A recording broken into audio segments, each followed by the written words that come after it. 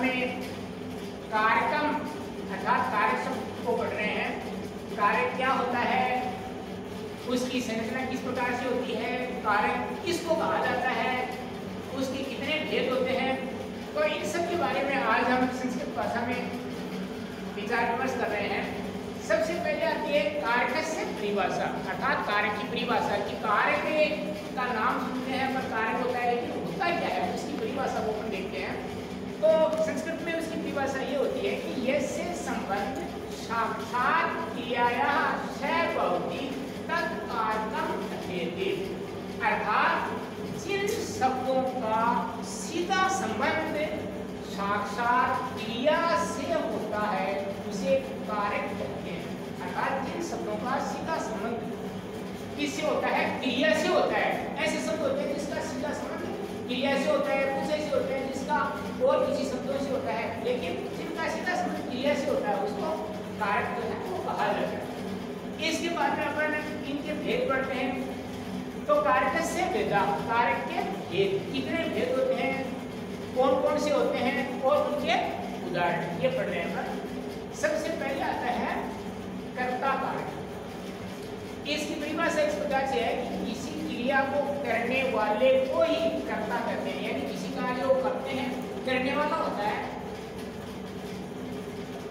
किसी कार्य करने वाला जो होता है, उसको क्या कहा जाता है? कर्ता कहा जाता है। उसे ही कर्ता कारक कहा जाता है। वही कर्ता कारक इसके बाद में अपन इसके उदाहरण देखते हैं। उदाहरण के माध्यम से इस कर्ता कारक अपन अच्छी तरह से समझ सकते हैं। सबसे पहला उदाहरण है कि राम में है अत्र आगस्ती। राम यहाँ आता है। इसका अर्थ होता है? राम अत्र यानी यहाँ आगस्ती यानी आता है। राम यहाँ आता है। राम यहाँ आता है। अर्थात इसमें कर्ता कौन है? राम है। तो इसमें कार्य भी कौन सा हो गया? कर्ता कार्य इसलिए इसको क्या कहेंगे?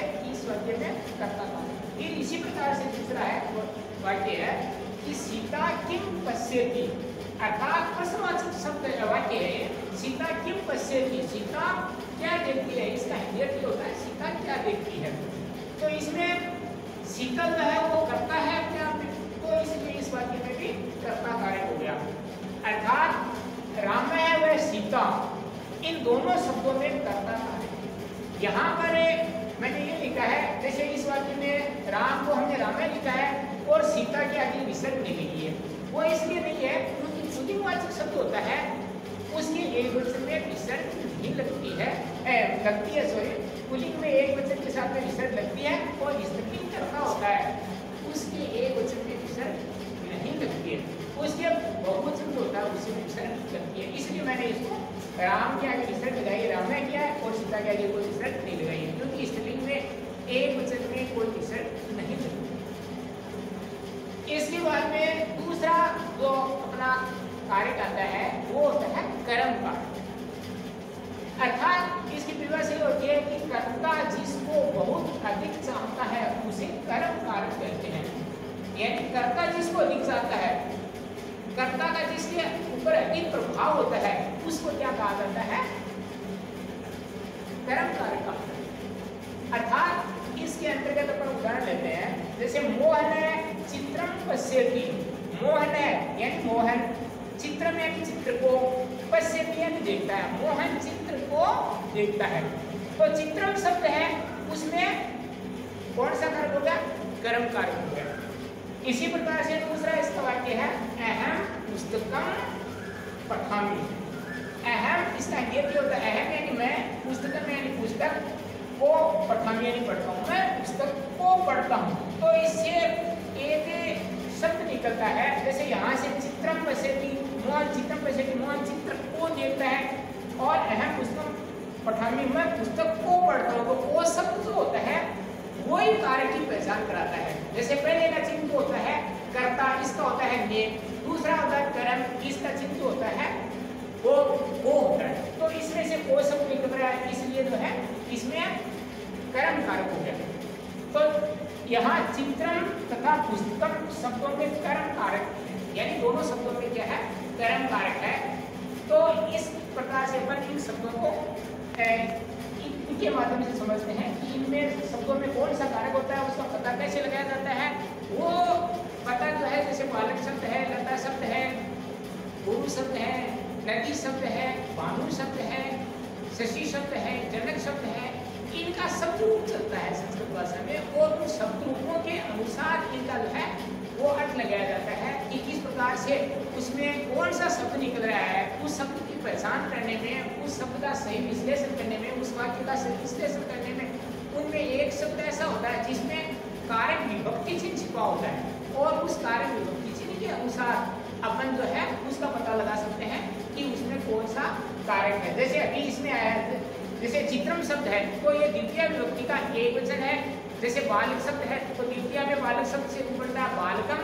तो इसी प्रकार से इसमें चित्र शब्द से चित्रम रूप बन गया द्वितीय में। इसी प्रकार से इसमें जैसे पुस्तकम शब्द है तो इसमें जैसे बालक सबसे ऊपर है, बाल के बाल को बालका वर्तमान में द्वितीय में होता है बालकम बाल को बालकान तो इसी प्रकार से इसमें पुस्तकम शब्द है, उसमें द्वितीय का एक वचन है। तो द्वितीय और विभक्ति है तो द्वितीय में इस प्रकार से जो है, इनको अपन विश्लेषित करते हैं।